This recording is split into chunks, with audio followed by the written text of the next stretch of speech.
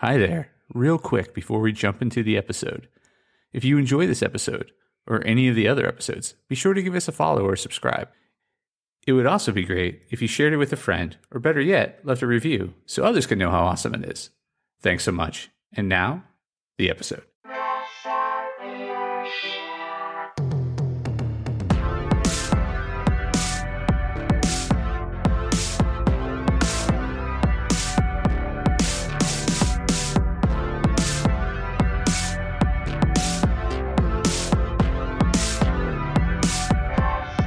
There, press starters, and welcome to the Press Start Leadership Podcast, the podcast about game changing leadership, teaching you how to get the most out of your product and development team and become the leader you were meant to be.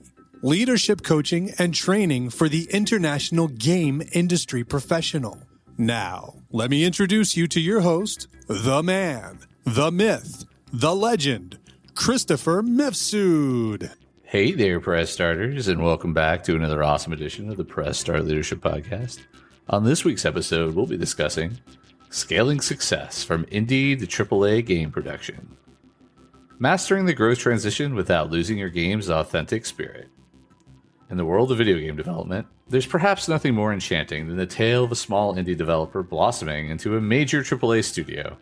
We've seen it happen time and again, but with growth comes challenges particularly the challenge of scaling up without losing the original spirit or soul that made the game or studio special in the first place. Understanding the indie spirit. The indie game scene has always been a hotbed for innovation and creativity. With limited resources and often working from a garage or a small office, indie developers rely on pure passion, unique ideas, and a ton of coffee to bring these visions to life. There's a certain charm in playing a game knowing it was crafted by a small, dedicated team, where every pixel, every line of code, and every note of music was a labor of love. Being indie is not just about the size of the team or the budget. It's about the spirit of innovation, freedom of expression, and the audacity to dream big, even when the means are modest. The allure of going AAA. On the other side of the spectrum, AAA studios, with their enormous budgets and large teams, produce some of the most polished, expensive, and graphically stunning games on the market. They have the means to invest in top tier voice actors, orchestral scores, advanced motion capture technology, and more.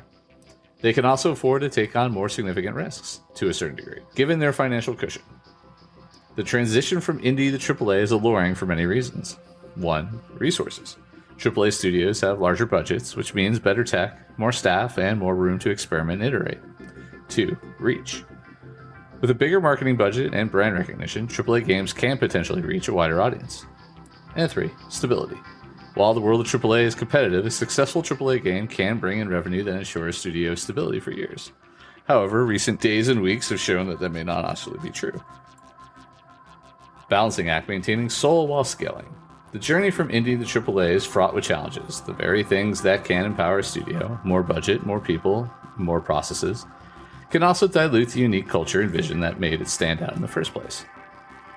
Number one, retaining creative freedom. One of the biggest fears indie developers have when scaling is losing creative control over their projects. As teams grow and stakeholders increase, there's a risk of too many cooks in the kitchen. AAA games can sometimes suffer from design by committee, where a game tries to be too many things to please everyone and ends up losing its unique identity. Number two, keeping the team spirit alive. With growth, there's a danger of the close knit family feeling of an indie studio getting replaced by a more corporate atmosphere. It's essential to actively foster a studio culture that values every team member's contribution and encourages open communication. Number three, navigating bureaucracy. Bigger studios means more layers of management and decision making. While processes are essential to handle large teams and budgets, there's a fine line between necessary bureaucracy and red tape that stifles innovation. And number four, staying true to your audience. Many indie games find a dedicated niche audience who value the uniqueness of the title studios aim for a broader market appeal, there's a risk of alienating the original fan base. Lessons from successful transitions.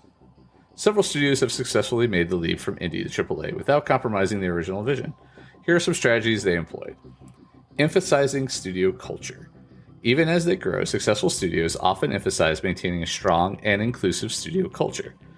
They recognize that it's the people, developers, artists, writers, testers. They're the most significant assets. They invest in team building, training, and ensuring open lines of communication. staying player centric.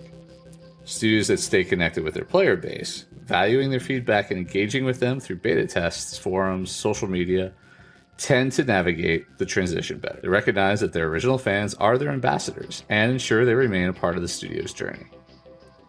Flexible hierarchies. While processes and hierarchies are necessary, successful transitioning studios ensure they remain flexible. They encourage innovation, allow teams autonomy, and promote a culture of constructive feedback. Diversifying risk. Instead of putting all their eggs in one basket, these studios often diversify their portfolio, they might have one or two flagship AAA titles, but continue to support and produce smaller indie projects. As the gaming industry continues to evolve, the lines between indie and AAA are becoming more blurred. There's a recognition that the heart and soul of a game is not determined by its budget, but by its vision, passion, and the people behind it. Scaling from indie to AAA is not about abandoning those roots, but about finding ways to let them flourish on a larger scale. Ensuring smooth transition, tactical approaches. Transitioning from indie to AAA is not just about expanding the team size or securing more substantial financial backing. It requires a well thought out strategy and some tactical approaches to ensure the transition is smooth and the essence of the studio remains intact. Mentoring and training. As your team grows, it's vital to onboard new members effectively. This isn't just about teaching them the tools of the workflow, it's about teaching the studio's values, ethos, and vision pairing new hires with experienced team members for mentoring that can help in seamless knowledge and culture transfer. Revisiting communication protocols. What worked for a team of 10 may not work for a team of 100. As teams grow, communication can become a challenge. It's essential to have clear communication channels, regular team check ins, and transparent project management tools in place. Feedback loops. Encouraging a culture where feedback is valued and acted upon can be a game changer. It's not just about top down communication. Team members should feel empowered to voice their opinions and contribute to the game's direction. Regular feedback sessions, anonymous suggestion boxes, or open forums can help in achieving this. Maintaining an R&D wing.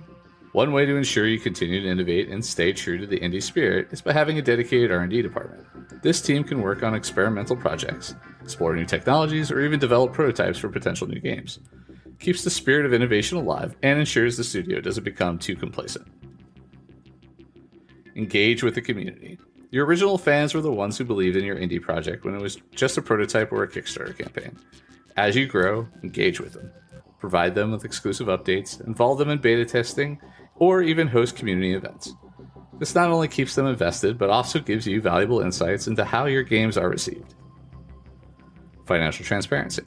Significant change that often accompanies the transition is the financial stakes involved. Teams should be made aware of budget, where money is coming from, and where it's being allocated. This transparency can prevent potential misunderstandings and ensure everyone's on the same page. Potential pitfalls and how to avoid them. Scaling from indie to AAA can come with its set of pitfalls. Recognizing them early and being proactive in addressing them can be the key to a successful transition. Losing touch with the original vision. This is perhaps the most significant pitfall. As teams grow and external stakeholders like investors or publishers come on board, there's a risk of the game's original vision getting diluted. Regular vision alignment sessions, maintaining a strong creative director role, and always referring back to the game's core design document can help in staying true to the original idea. Burnout. With bigger projects come bigger pressures. Crunch times, tight deadlines, and long hours can lead to team burnout. It's crucial to recognize this early and address it. This might mean bringing in additional help, reevaluating timelines, or even setting aside dedicated downtime for teams. Overcomplicating processes. Processes are essential, but there's a risk of overcomplicating them. If a process seems to be slowing things down rather than aiding productivity, it might be time to revisit it. Always have the mindset of process serving the team rather than team serving the process. Overpromise and underdeliver as you scale, there's a temptation to promise more to your audience, be it in terms of game features, graphics, or gameplay hours. It's essential to manage expectations and to ensure you can deliver on what you promise. Transitioning from an indie to AAA is an exciting journey, fraught with challenges but also immense opportunities. the right strategies, clear vision, and an unwavering commitment to the game's soul, studios can not only make this transition successfully, but also set new industry standards. The world of gaming is vast and diverse. there's always room at the top for those who innovate, inspire, and engage. All right, and that's this week's episode of Press Start Leadership Podcast. Thanks for listening, and as always, thanks for being awesome.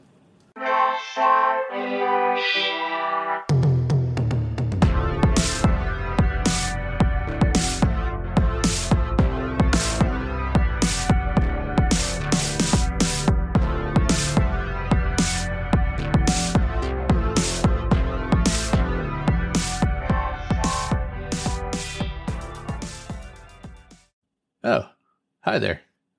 The episode's over, but thanks for sticking around till the end. If you're on the quest to elevate your team's leadership, production, or game design capabilities, I'm here to assist. Leveraging extensive experience and a strategic approach, I offer personalized audits, bespoke workshops, and leadership retreat facilitation to drive your team toward excellence. My commitment is to provide efficient, reliable, and proven support, ensuring you have the tools and insights needed to thrive. Ready to unlock your team's full potential and achieve unparalleled success? Don't hesitate to press start on your journey to transformation today. Feel free to reach out directly to discuss how we can tailor a solution to meet your unique needs and goals. Let's connect and take your team's performance to the next level.